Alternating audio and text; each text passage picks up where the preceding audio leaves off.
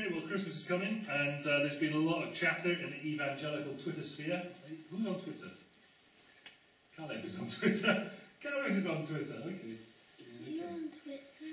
So much to learn, aren't there? Um, there's been a lot of chatter on, on Twitter this last week about the evils of Christmas, uh, and Santa Claus in particular. This this year, the popular whipping boy has been Santa, and uh, so you get you get guys like uh, John Stevens, the guy who heads up the FIEC. He's getting quite right wing in some of his comments, sort of right at the Daily Mail, which is enough, you know.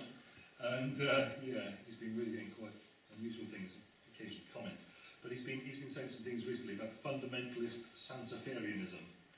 Uh, that's helpful. Well done. Um, you know, he's the biggest the biggest outreach opportunity of the year. Let's spend it whipping Santa. Uh, no, I did I did sort of phrase a reply to him. It was exceptionally witty and exceptionally cutting. I thought you can't post that, so I bl- I blotted it out. But uh, it's been a long goal, really. People pointing out, for example, that Santa is an anagram of Satan. It's always a helpful one. Yes, thank you very much. That'll really help us with our outreach this Christmas.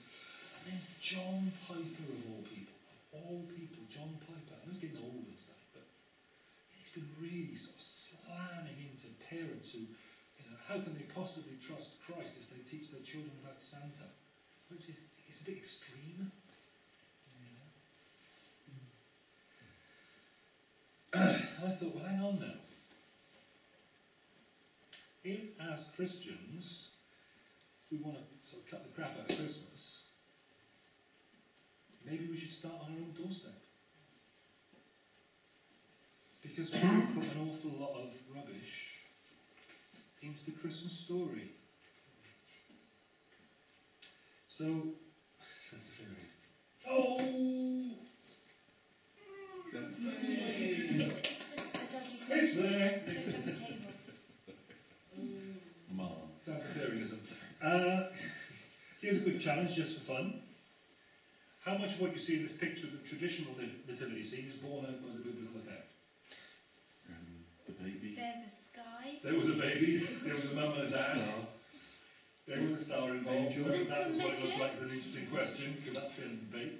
Angel. Over, over, over the manger. Hmm. Yeah.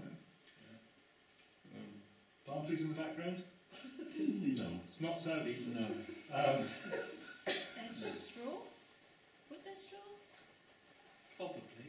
Did they, did they have straw? there's some sort of Did they bedding. have? Did they have like? It wouldn't have been wheat straw. Yeah. Palm trees. No, not palm No. trees. They didn't have palm trees. Well, They've they would got. have had palms they've because it was got- Palm Sunday. Little drummer boys. They've got. Oh, or up a pom pom. Yeah, no. They've got Not wheat there. storage in the top of the stable. There's a shepherd's crook. A, a stable. Did somebody say stable? They've got wheat storage. It's oh, Was, like shepherd. was, was there a stable? Yeah, but there's wheat Wa- wa- storage. wa- wa- Was there a stable? No.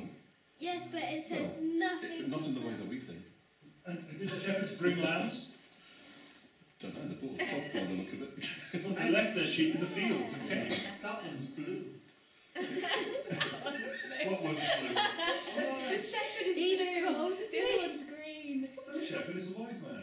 No, that's a No, shepherd's that's one. green. The, the wise men on. the camels. That's very interesting. In this picture, There's a witch. there are shepherds on camels as well. No, no, it's the wise men. There's a monkey. There's three of them. Was there three of them? No. See what I mean? Well, okay, it doesn't matter at one level, but another does. Because what happens is that memories of time past get bound up with what we take the scriptures to be saying, and we don't want to have the cobwebs dusted off our misinterpretation of scripture. See what I mean? Mhm. This is where it becomes an issue, isn't it? So here's an illustration, okay, and it's, it's just appeal. We, we've got at least three proper jewellers in the town, yeah? This very small town. At least three proper jewellers, by which I mean people who design and craft items for decorative purposes gold and silver and precious stones and, and all that. And they sell these things to the affluent public. Those sorts of proper jewellers, not, you know, Samuels. I wasn't going to say that, but you said it. so these affluent people, they then bring their treasured things back to the jeweller from time to time to be cleaned. That, that was a mystery to me. Didn't perhaps they haven't got dusters in their own house. I don't know, but but they bring these things back to be cleaned, right? So oh, I clean, you know, I clean it.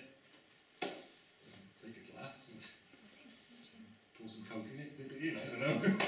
I mean, how does it work? How complicated is this? Yeah, I your head at me. I know it's terrible.